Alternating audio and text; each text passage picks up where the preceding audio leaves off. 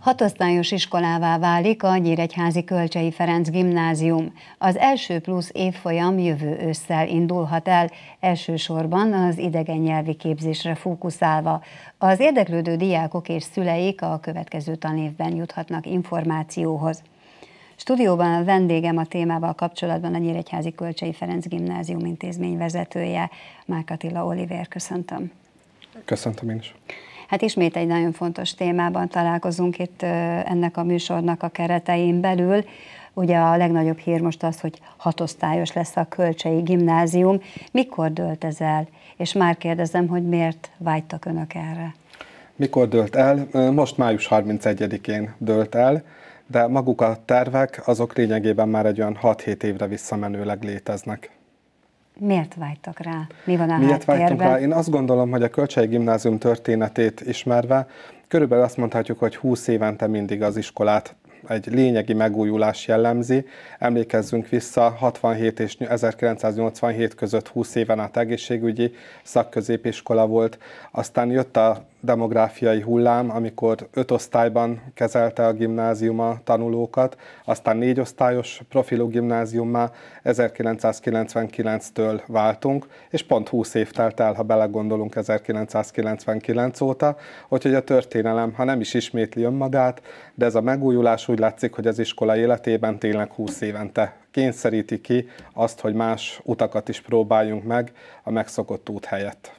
És amellett akkor talán lehet azt mondani, hogy most jött el az ideje, ugye? Így van, most jött el az ideje, most értek meg a körülmények gyakorlatilag erre a döntésre és elhatározásra, és ez egy nagyon nagy öröm. Így, hogy az önök számára ugye kedvező döntés született mindenféleképpen, ez jelenti azt, hogy hozzá kell nyúlni ahhoz a rendszerhez, ami az utóbbi húsz évben működik. Így van, pontosan, pontosan jól érti a szerkesztőasszony is. Ez azt jelenti, hogy lényegében az iskolának a pedagógiai programját kell kigondolni, és én azt szeretném mondani a kedves leendő potenciális kölcse és kis tanítványaink és szüleik számára, hogy mi ezt a pedagógiai programot lényegében velük együtt szeretnénk kidolgozni a következő tanévben, hiszen a szülők igényeit és a gyerekek igényeit konkrétan szeretnénk tudni, ismerni, bemutatni a potenciális szaktanárjelölteket számukra, és mondják meg az érdeklődők, hogy mit is várnának el egy ilyen hatosztályos gimnáziumtól. Nyilvánvalóan ismerve a Kölcsei Gimnázium képzési szerkezetét, nevelőtestületének összetételét, hagyományait, teljesen egyértelmű, hogy az idegen nyelvek tanítása, a humántárgyak tanítása mellett fogunk elköteleződni, és emellett azért az informatikát is természetesen ide pakolnám. Többen lesznek a diákok az iskolában, és nyilván többen lesznek a pedagógusok is, hiszen a változás az nyilván a bővülést is jelenti. Ez nem, nem egészen pontosan jelenti ezt, hiszen az épület mérete az eleve 592 tanuló, de ez egy elméleti szám, tehát nem fér el 592 tanuló sem. Eredetileg 560 tanulóra méretezték a Kölcsei Gimnáziumot, ami pontosan 16 osztálynak a fogadását és nevelését, képzését, tanítását jelenti. A négy év folyamos képzésből egy osztályjal kevesebbet fogunk indítani, és egy négy év folyamos gimnáziumi osztály helyére tud bekerülni a hatosztályos képzés, így továbbra is 16 osztályos rendszerben fogunk működni.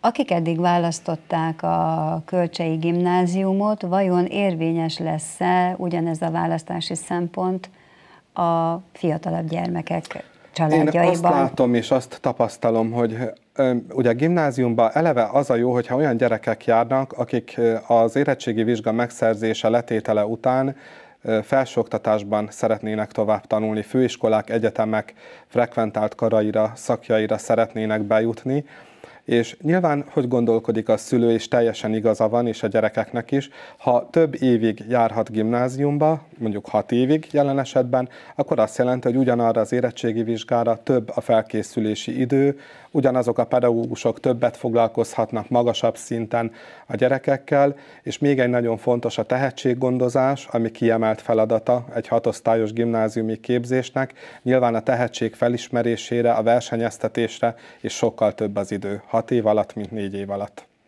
Most mit mondhatunk el az elmúlt évekre, vagy akár évtizedekre visszatekintve, hiszen kettőre legalább vissza tudunk tekinteni, az még nem volt olyan régen.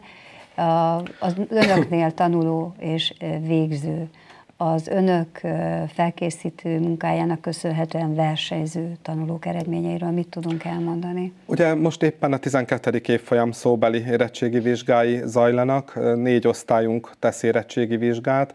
Nagy öröm számomra is, hogy ebből két osztály 4,8 felett végzett a tanév végén, az A és a B osztály, de a C és a D osztálynak sincs oka szégyenre, neki, rájuk is nagyon büszkék vagyunk, ők 4,7 felett végeztek.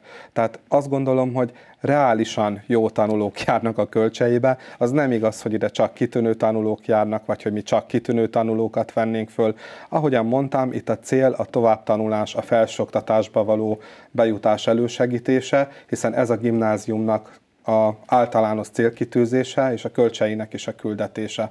Egy nagyon érdekes tapasztalat, hogy ugye tudjuk, hogy 2020-tól most már csak nyelvvizsga megszerzésével juthatnak be a fiatalok az egyetemekre. Én azt gondolom, hogy megint, ha a hatosztályos képzésre gondolok, megint csak arról tudunk beszélni, hogy nagyobb ütemben, alaposabban több idő van arra, hogy a gyerekek ezt a komplex nyelvvizsgát megszerezzék, akár középfokon, akár felsőfokon, és már a 11. évfolyamon tapasztaljuk, hogy sokkal nagyobb arányban van a gyerekeknek nyelvvizsgája, megszerzett nyelvvizsgája, mint a korábbi években, hiszen ott van rajtuk a nyomás, hogy hát rendben van, hogy tudjuk a nyelvet, és jól beszéljük a nyelvet, de ezt papírossal igazolni is kell. Mit mutatnak a jelentkezési adatok, hogy mennyire szívesen választják a kölcsei gimnáziumot a gyerekek? Én azt tudom mondani a kedves televízió nézőknek, hogy, hogy az a kör, aki minket keres, ők egyértelműen a céltudatos gyerekek, a tanulni vágyó gyerekek, a nyelv tanulásban elkötelezett gyerekek, ők mindig stabilan keresik és meg is találják a kölcseit. Bennünket a nehezebb iskolák között szokott a közvélemény számot, számon tartani. Lehet, hogy ezen változtatnunk is kell, és igyekszünk lépéseket tenni az irányban, hogy talán ne legyen minden tantárgy a következő évektől annyira megterhelő a gyerekeknek, hiszen valóban nagyon túlterheltek a diákjaink, de én azt gondolom, hogy egy olyan nevelőtestülettel dolgozunk a kölcseiben, akiktől nagyon jó tudást kapnak mind a jelenleg ott tanulók, és abban hiszek, hogy a hatosztályos gimnáziumba jövők ugyanilyen jó színvonalú képzést fognak kapni a gimnáziumban. Akkor most az igazgató úr, akkor most büszke én nagyon boldog vagyok legelőször is, és ezt a büszkeséget természetesen a hála is kíséri, hiszen a döntéshozók mögött valós személyek vannak, akiknek én ezúton is nagyon-nagyon nagy köszönetet szeretnék mondani, akiknek ebben része volt, hogy ez a döntés megszülethetett.